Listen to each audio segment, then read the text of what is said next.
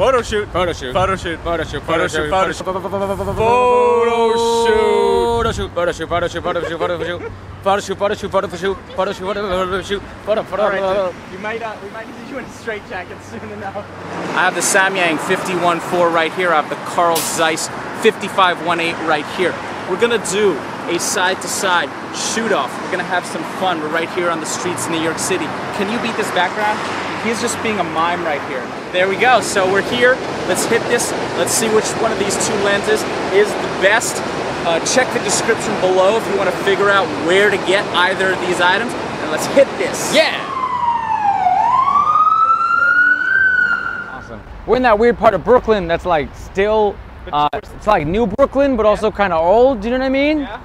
We're like in this part of Brooklyn, uh, everyone, they have like organic bodegas, but they still take WIC checks. You guys know what I'm talking about? Everyone? We're shooting at f8 here, and while there's some slight differences in lighting between the two shots, I didn't see any huge differences in sharpness or in the detail in the background. But as you're about to see, there are lots of differences between these two lenses. Uh, what's a WIC check?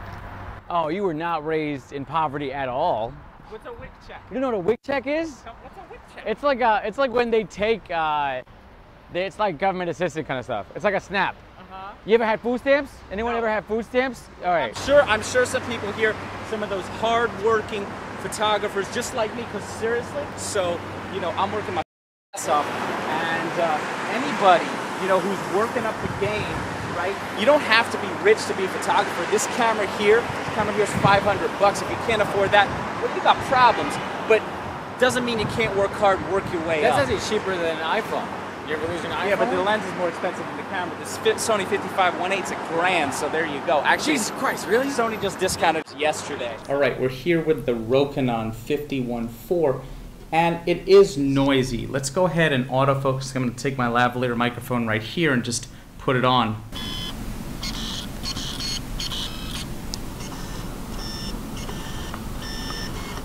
All right, so it's noisy during auto focus, and if you're a strictly a still photographer, then it's not a deal breaker for you. And if you're a videographer, well, let me just show you what happens. Let's hit record.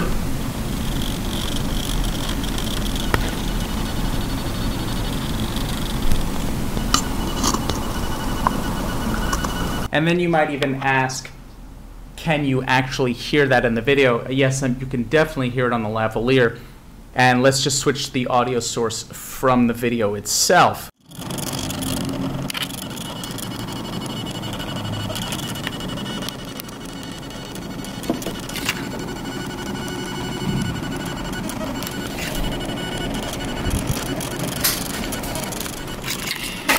And as you can see, you definitely hear that. And now, right here on the Zeiss, focusing, absolutely silent. Video's on, nothing. Absolutely nothing on video. This is uh, pretty much New York City. Is there is a moving loud thing at any given time during the day? Exactly. Every single second. More than once in New York City, I have had to think to myself, is that gonna touch my face? That's something that just happens in New York. It's crazy. I lived here my whole life. Touch your face. Oh, nice. I didn't want to do it in the lens because I have to return this lens, and if I get your grease on the lens, No, I get it. I'm gonna get your grease. Completely. I'm getting your gre- I um, completely understand. I could. I don't want to ruin anything. I always break everything. I can't. What do you break, Daniel? Oh my God. Do you break marriages? Do you Oh, break? please. You see my face? Ugh, no, thank you. You know, you're really hard on yourself, man. The, the camera has a, a, an aperture, and you see it says f8 over there. Yeah, yeah, yeah. So watch what happens when I bring it down to f.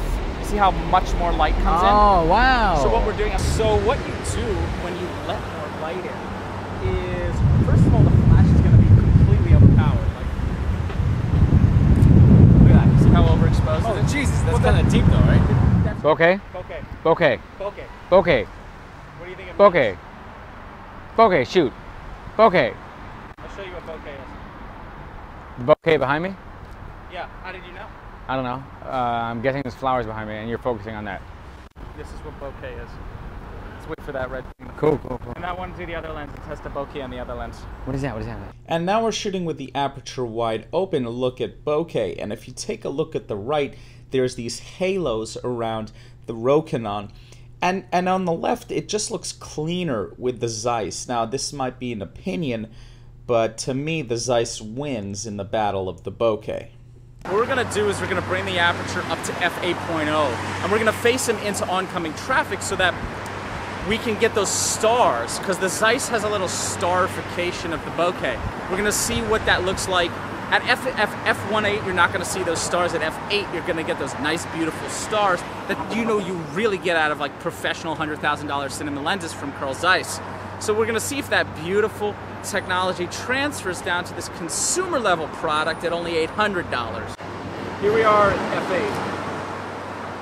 Stars, Nice stars. beautiful stars. Seeing similar starring on each, but let's go into the laboratory where we can control the situation a little better to see if there's any differences. The higher you bring the f-stop, the more starring you tend to get. We're at 5.6, we're at 6.3, 7.1, 8.0, and just by the way, we're here on the Zeiss. 8, 0, 9, 0, 10, 11, 13, and all the way up to f22. Not as great as my 24 to 70 f4, which really produces dramatic lens starring. And now let's take a look at the lens flare on the Zeiss. So there's a flare, looking nice, looking nice. Get that little sweet spot right in there. Now let's go ahead and compare the Rokinon in both starring and flares. 5 6, we're seeing a real nice dramatic star. F8, we're seeing, you know, that's that's a real, you know, it's, it's a good lens star. So I'll give you that. It's got some good lens starring. And if they could only fix this auto focus motor noise, I might consider getting this over the Zeiss. But at the moment, it's a deal breaker. Let's just push it up to F11 and it only goes up to F16, whereas the Zeiss goes all the way up to F22, so there's another difference. All right, and here's our lens flare test right at F5, and, and, and it's just, while there is a nice flare, there's also a sort of octagonal bokeh pattern that's part of the flare. so that's part of the package. You know, really not cinema quality, but it's... Yes, I will hold. Hold on. Put this away. Go. Hold these. I'm gonna be. I'm gonna treat this just like my phone. Well, I'm those are gonna- not as expensive. Oh, thank God.